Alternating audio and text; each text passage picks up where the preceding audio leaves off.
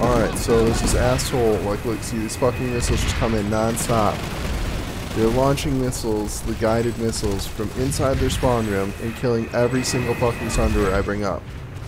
Like, and there's nothing you can do to stop it because they're shooting the missiles from inside the fucking spawn. So there's like, you're basically just fucked for trying to take the space.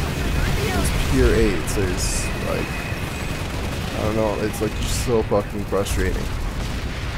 I could see if maybe they were launching them from like someplace where I could be like, take them out. But they're inside the spawn. They're behind the shield, so I like can't even fucking shoot them. Like there's non-stop the missiles until the Sunderer is dead. Over and fucking over again. He's been doing it for probably a half an hour now. Same guy. Sitting there launching missiles. Yeah, you can see the guided missiles coming. He'll shoot them from outside. There's, this is their spawn. He'll shoot it out there, and it'll curve around and take out my Sunderer.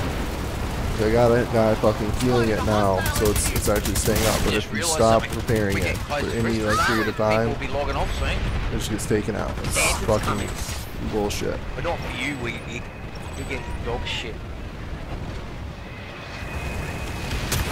God damn it!